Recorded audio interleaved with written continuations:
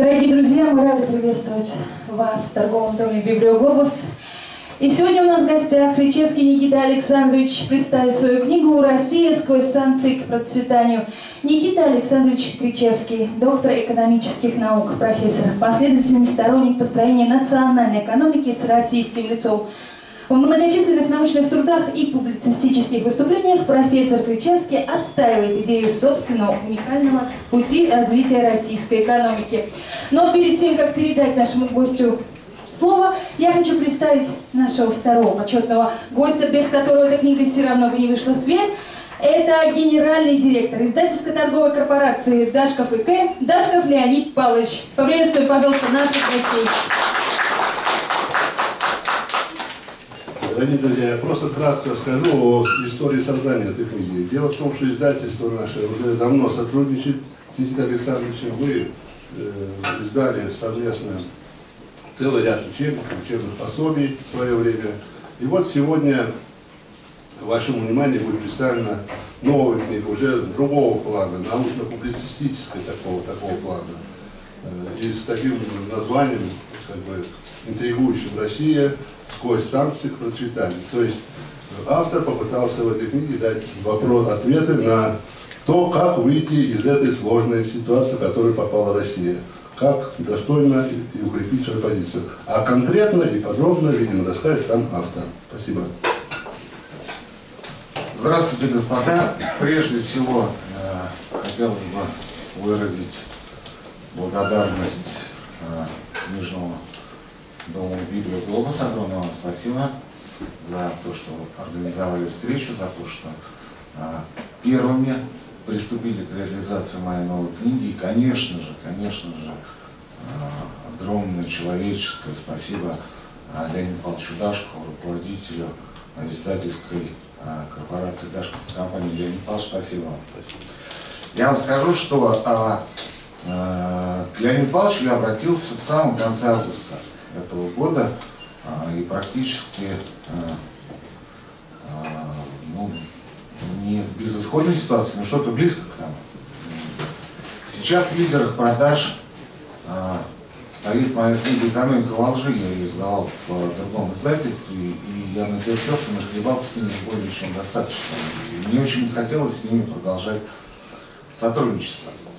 Я попытался э, поговорить с другими издательствами, у меня ничего не получилось, и вот э, э, пришла, пришло знание, пришла подсказка свыше, не знаю откуда, обратиться к Леониду Павловичу, который, в принципе, занимается изданием а, больше а, учебной, учебно-методической литературы, ну, скажем так, научными изданиями в крайнем случае.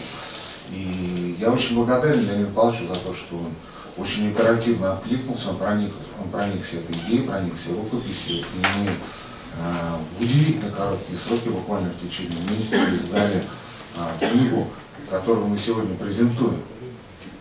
И а, очень оперативно, очень квалифицированно, компетентно сработали практически все сотрудники а, издательской корпорации, Дашков и компаний, которые имели отношение а, к моей работе. Спасибо вам большое, спасибо издательской корпорации, Леонид Павлович. Теперь по а, сути я буду а, краток, а, схематично объясню, как появилась эта книга, что в ней а, заложено.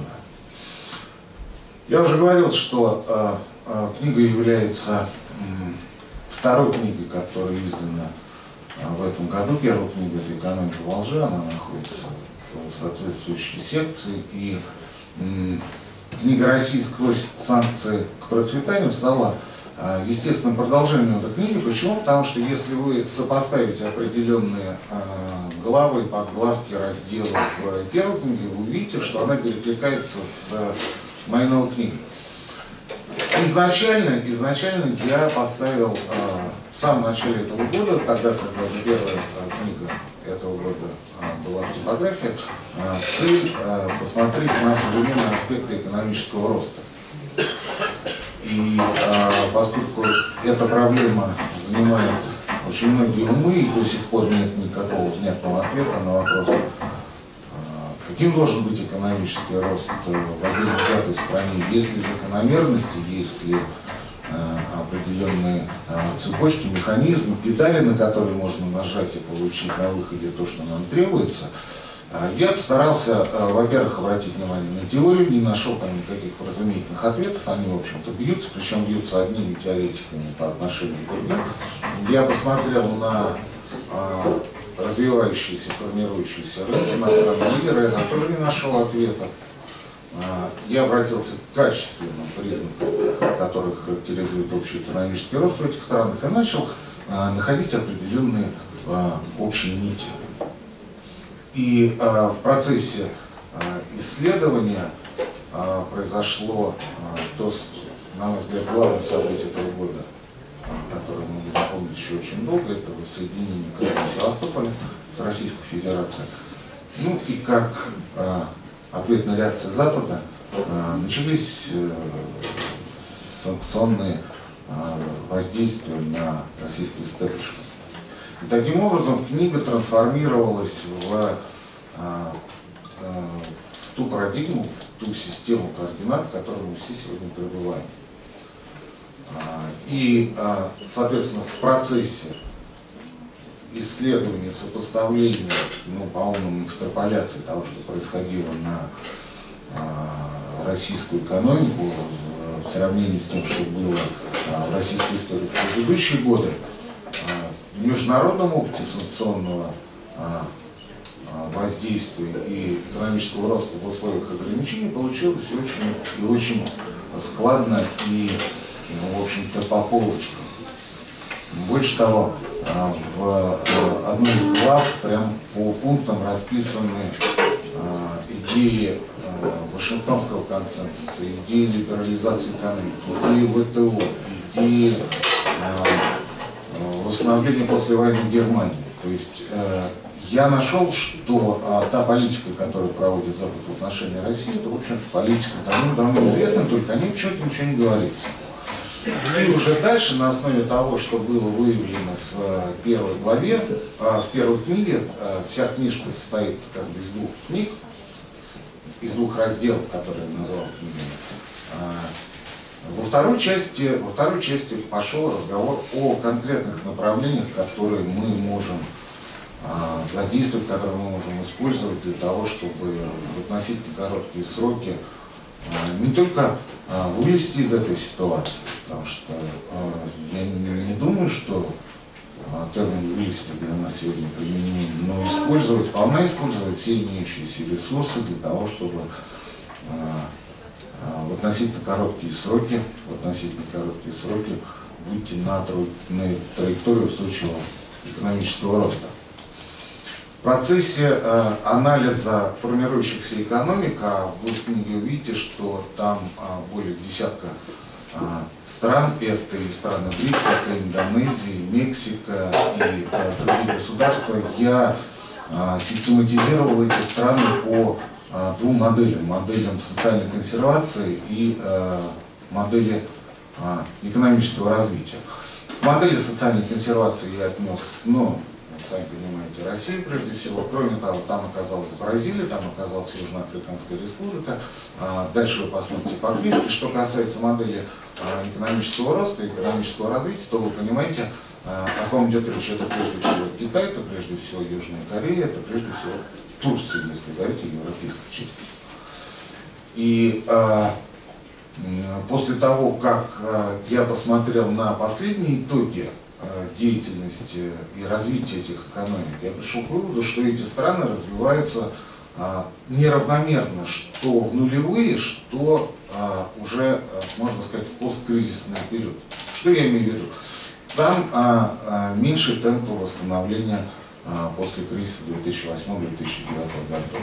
Там неснижаемые социальные обязательства. Там сильный а, курс национальных валют. Там а, прочие другие характерные для этих экономик моменты, которые вы найдете в этой книге. И если говорить о том, а, что нам нужно делать э, прежде всего, я не буду говорить об административной реформе и прочее, это, в общем-то, не совсем моя тема. Это осознать, что а, наша экономика и наша страна все последние десятилетия исповедовала модель социальной консервации.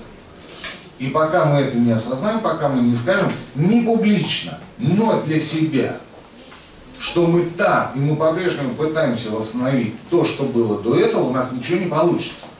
Мы хотим а, а, на базе прежних постулатов, на, на базе а, прежнего императива, мы хотим развиваться дальше, мы хотим при а, прежней модели а, иметь те же темпы экономического роста, которые во многом, вы понимаете, основаны на чем? На сырье и на а, фондовых показателях, а также на росте денежной массы э, в странах золотого миллиарда. Мы хотим на принципиально изменившихся условиях продолжать э, ту же самую э, социальную политику, которая была свойственна России в нулевые. Ничего этого не получится. Надо перестраиваться. Перестраиваться как? После осознания того, о чем я вам только что сказал, нужно посмотреть, на чем строили свою а, экономическую политику ныне прорывные государства. Опять же, о которых я говорил только что. Это искусственное, но сознательное ослабление национальной валюты. Это а, создание точек роста. Я много говорю о том, что а, в Вьетнаме в настоящее время а, функционирует а, одна тысяча, здесь более точная цифра, 1468, по-моему, кластеров, 1864 кластера. Во Вьетнаме у нас кластер один, курорты Северного Кавказа. То есть туризм у нас нуждается, оказывается, в государственной поддержке, в государственном стимулировании. Это уникальный для мировой экономики прецедент. А, дальше. Мы нуждаемся в протекционизме. Что такое протекционизм? Это, по сути, это поддержка собственного отечественного производителя. И самое главное, мы нуждаемся в э, переориентации нашей экономики, нашей промышленности на производство конечной потребительской продукции. То есть на закрытие того дефицита, который плавно перешел а, с поздних советских времен на а, э, новую российской действительности, который был удовлетворен за счет притока импорта. По сути у нас как был дефицит позднесоветский, так он и остался. Ничего не изменилось. Потому что как мы тогда не производили в закрытой экономике те товары народного потребления, которые нам были нужны, так мы их и не производим. Но тогда был дефицит, тогда были талоны, а сегодня, пожалуйста, выйди э, на улицу, зайди в любой магазин, и ты увидишь э, импорт, который удовлетворит твои любые потребности. В книге этому посвящена отдельная э, часть, отдельная глава, где, опять же, на цифрах расписано то, как экономика Советского Союза жила в последние годы. Еще два момента, которые я хотел бы ответить, прежде чем перейти э, к вопросам, к ответам, к разговору. Момент первый. Не нужно бояться того, что мы авторитарное государство. За последние а несколько десятилетий, опять же, есть ссылки на, на первоисточники. Было проведено немало исследований по поводу того, а, какая экономика и какое государство эффективно, авторитарное или демократическое. Вы увидите 52% прорывных экономик, а, где был устойчивый темп экономического роста на протяжении 5% в год, в течение 3-5 лет, так это экономики демократической, 48% экономики авторитарной. Не нужно бояться государственного капитализма, не, не нужно бояться клановой структуры собственности в экономике.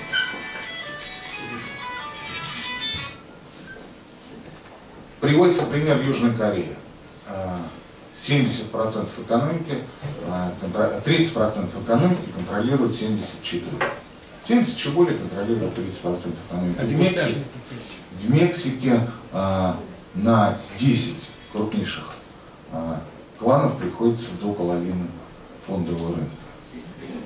Там а, есть прочие моменты, которые а, идут в разрез с а, принятой концепцией, либеральной концепцией построения нашей экономики. Она не подходит, это же очевидно. Это очевидно за последние 20 лет, это очевидно, потому что мы все пробуем, пробуем, мы все строим, строим, у нас ничего не получается, но мы сегодня по-прежнему а, исповедуем либеральные мантры, например, а с одной стороны, экономика задыхается без кредитов, то есть нехватка ликвидности, нехватка денег в экономике, а с другой стороны, а, в целях борьбы с инфляцией Центробанк э, уменьшает денежную массу. Хотя инфляция по-прежнему побеждает все и вся, особенно а, в Российской Федерации. И заканчивая, наш разговор, я хотел бы обратить внимание вас еще на одну вещь. Опять же, в процессе изучения этой темы я обнаружил, что существует масса исследований, которые говорят о том, что иностранные инвестиции – это отнюдь не панацея. Более того, это а, тот механизм, который при малейшем проявлении кризиса в той или иной стране приводит к тому, что экономики, которые прежде привлекали инвестиции, рушатся.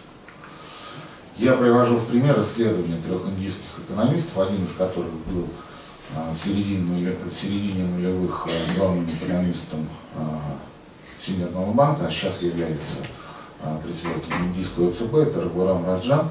Он говорит о том, что за последние 35 лет, с 70 по 2014 год, четвертый год они смотрели, не было ни одной экономики, которая могла бы подняться за счет иностранных инвестиций. Все успешные экономики поднимались за счет инвестиций внутренних. И тут я говорю, посмотрите на денежную массу в России в соотношении с ВВП а, с другими прорывными государствами. И оказывается удивительная вещь, там это все на, на таблицах, опять же, из первоисточников. У нас получается 52,5% а, к ВВП, а, в Южной Корее 138, в Китае 188. При этом инфляция в этих государствах в 2-3 раза ниже по сравнению с российской. О том, что у нас инфляция не монетарная, я вам говорить не буду, вы это знаете и без меня. В общем и целом, а, это первое издание. Мне очень хотелось бы его продолжить, но я полагаю, что здесь все будет зависеть от Леонида Павловича Дашкова и от того, как вы воспримете эту книгу. Спасибо вам большое.